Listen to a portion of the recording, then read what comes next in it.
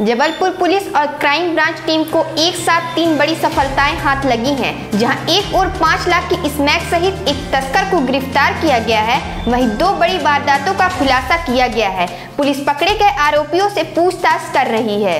एक साथ तीन खुलासा करते हुए जबलपुर एसपी अमित सिंह ने बताया कि जबलपुर क्राइम ब्रांच एवं माड़ोताल पुलिस ने संयुक्त रूप से कार्यवाही करते हुए बाईपास रोड में मुखबिर से मिली सूचना पर दबिश देते हुए मादक पदार्थ स्मैक की तस्करी में लिप्त बालाराम गुप्ता, निवासी दाल मंडी थाना शुवासरा जिला मंदसौर को उस समय गिरफ़्तार कर लिया जब वह ग्राहक के इंतज़ार में खड़ा था जिसके कब्जे से पाँच लाख रुपए कीमत की 50 ग्राम स्मैक जब्त की गई है।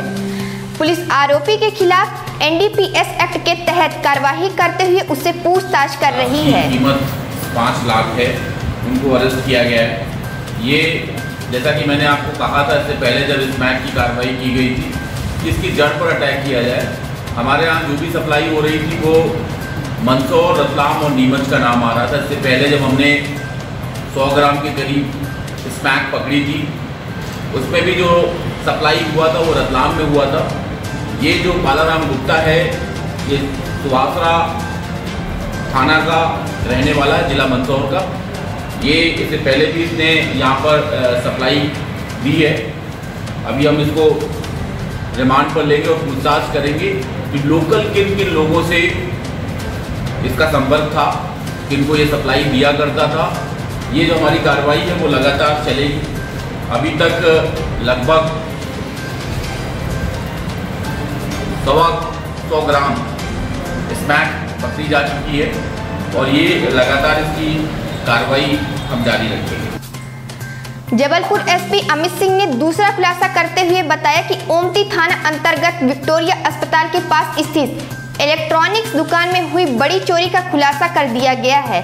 चोरी करने वाला कोई और नहीं, बल्कि दुकान में काम करने वाले कर्मचारी ही निकला है।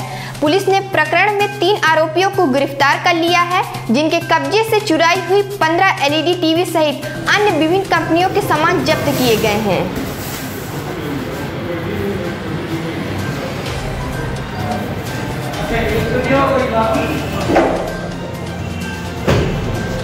घटना है वो सुरेश कुमार आसवानी हवानी ट्रेडर्स विक्टोरिया अस्पताल के सामने थाना उमती में इनकी दुकान है। इनकी दुकान से जब स्टाफ का मिलान किया तो पंद्रह 15 एलईडी टीवी जिसमें चार सैमसंग कंपनी की है, चार एलईडी कंपनी की एल एलईडी टीवी है, दो एलईडी इंडेक्स की है पैनासोनिक कंपनी की है अलग अलग कंपनियों की है। ये बड़े साथी हैं, उनकी दुकान पे ही काम करते हैं। जो बड़ा वॉशिंग मशीन का डिब्बा होता है। जब कोई ग्राहक आता है तो वॉशिंग मशीन उसको दे देते हैं और डिब्बे में ये जो एलसीडी है, उसको रखते हैं और बाहर ले जाते हैं। तो ये एक तरीके से विश्वास का कुंभ करना हुआ और इस तरीके से इन्होंने लगभग पंद्रह एलसीडी चोरी की थी। मिलान करने से जो पता चला, इनको पुलिस ने अरेस्ट किया है। इसमें जो महत्वपूर्ण भूमिका निभाई है वो क्राइम ब्रांच और ओमती थाने ने निभाई है। इसमें तीन आरोपी हैं, प्रमोद, ये मदन माल का रहने वाला, जितेंद्र केवट, ये कांचघर का है। संजय उर्फ़ संजू चौधरी, ये सुहागी का रहने वाला है। निश्चित तौर पे अभी हम इनसे पूछताछ करेंगे तो और भी जो चोरियाँ हैं जबलपुर एसपी अमित सिंह तीसरी वारदात का भी खुलासा करते हुए बताया कि पनागर हाईवे पर कट्टा चाकू अड़ाकर मोबाइल व नकदी कार, ट्रक की लूट व डकैती करने वाले चार लुटेरों को पुलिस ने गिरफ़्तार किया है, जबकि एक फरार हो गया है, जिसकी तलाश जारी है। पनागर पुलिस गिरफ्त में आए आरोपियों के कब्जे में लूटा हुआ ट्रक और उसमें रखी सीमेंट की 520 बोरियाँ एवं कार व नकदी रुपए घटना में प्रयुक्त होंडा साइन मोटरसाइकिल, एक देसी कट्टा, तीन चाकू जब्त किया गया है।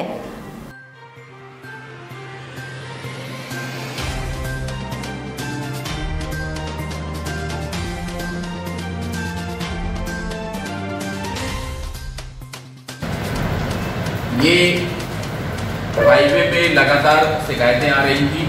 पनागर में वहाँ पर ट्रक ड्राइवरों को जो दूसरे स्टेट के हैं, उनके साथ मारपीट करके पैसे की छिनैती की जा रही। है इसमें डीएसपी प्रोफेशनल जो वहाँ पे थाना प्रभारी हैं दूसरे साहब इनकी टीम ने और विशेष रूप से हंड्रेड की टीम ने सराहनीय काम किया है। जैसे सूचना मिली, तत्काल रिस्पॉन्ड किया गया है। इसमें चार आरोपी को अरेस्ट किया गया है। अभिषेक पिता शिव कुमार केवट, संतेश, संतोष उर्फ़ लालन केवट अंकुश उर्फ़ बेटू केवट खुशीलाल केवट ये सभी पनागर के रायपुरा के हैं। इनके पुराने रिकॉर्ड भी हैं। इन्होंने एक ट्रक छीना था, जिसमें 540 बोरी सीमेंट थी।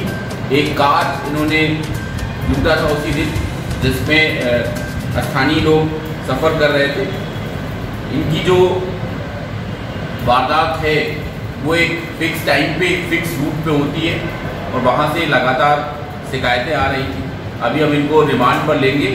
और इनसे पूछताछ करेंगे तो और भी जो हमारी पुरानी वारदात हाईवे पे रॉबरी की है, हाईवे साइड रॉबरी की, उसका भी खुलासा होने की संभावना है।